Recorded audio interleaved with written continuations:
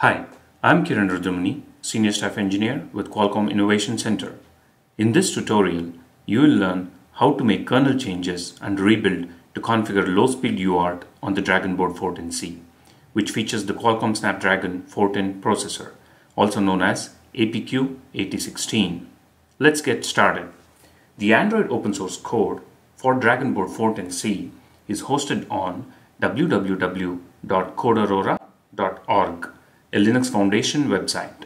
To access the source code, first click on Android for MSM project and then select Wiki to find the listing of all the Snapdragon chipsets for which Android open source code is hosted, including the APQ8016. Before you download the code, you need to have repo set up on your Linux machine. The release page on CodeAurora lists manifest files for various Snapdragon chipsets.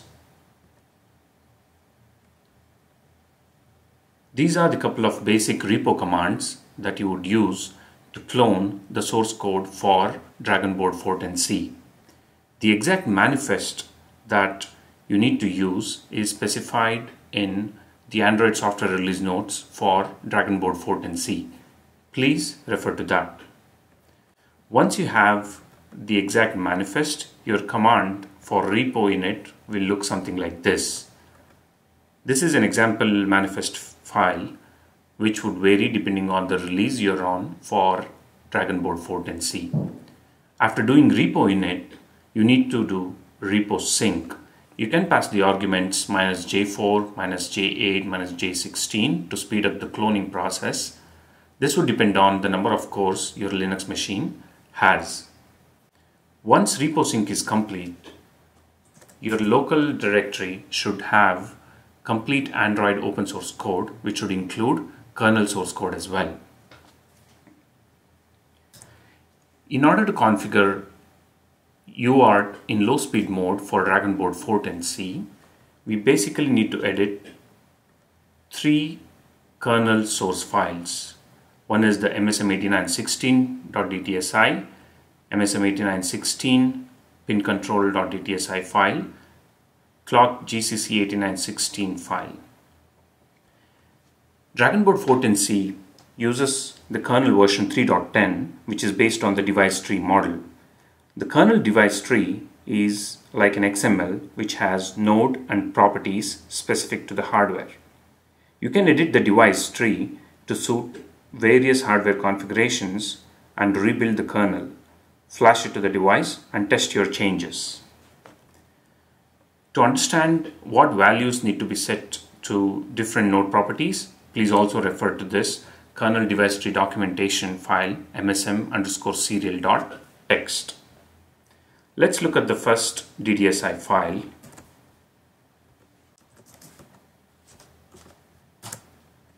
Here you will see that BLSP underscore BLSP1 underscore UART2 is configured for low speed UART serial use case. The address is 78B0000. The compatible property LSUART specifies that it is low speed UART you need to make sure the interrupt pins, the clocks are configured properly. The second file that we need to check is MSM8916 pin control file.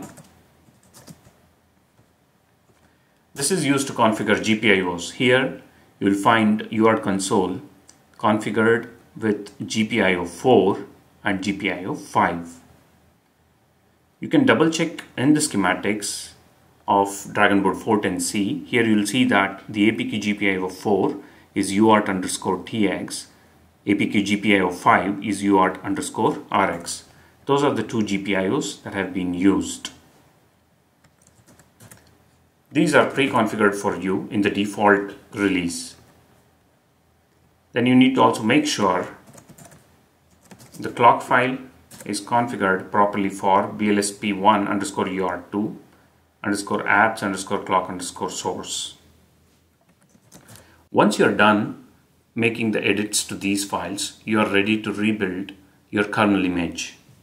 For that, you need to run the command source build envsetup.sh from your Android root source directory.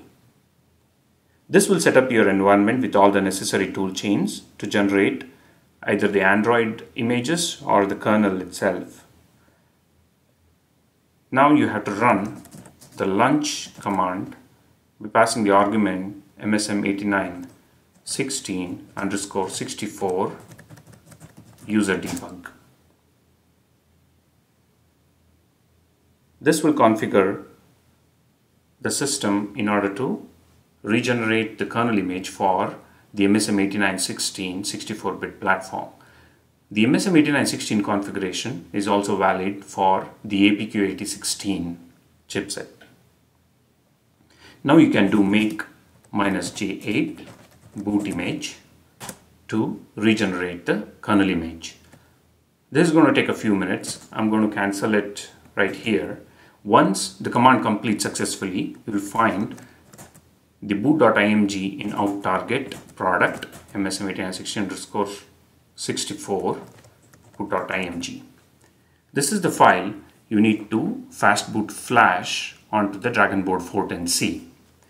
Since I've already done that and connected my device, if I do ADB devices, you see an ID is displayed. You can also double check that from your device manager that ADB is displayed. For this, you need to have fastboot and ADB drivers configured on your machine. Now I can, uh, since I've already rebooted uh, by flashing the boot.img using the command fastboot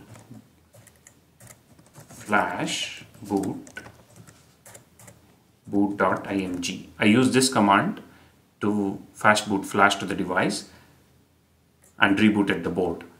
If the device is in ADB, you can do ADB reboot bootloader to get the device in fast boot mode or you can also use volume minus button while powering up the Dragon Board 410C to bring it to fast boot mode. After doing this, uh, you can flash the boot.img. Since I've already done that and I'm in ADB mode, I can go to the shell of the device by doing adb shell. Now, if I go to slash dev directory and list tty hsl 0, I see tty hsl 0 listed without any problems. This means the low speed UART has been successfully configured on 410C platform. If you have multiple UARTs, you can also set aliases in your device tree file. The kernel can also be reconfigured to enable I2C peripherals, SPI peripherals, and various GPIOs. You can make changes to the device trees and other board related files in order to enable these peripherals. For more details, check out the peripheral guide for Dragon Board 410C. Visit the Qualcomm Developer Network to learn more about the Dragon Board 410C. Thank you for taking this tutorial.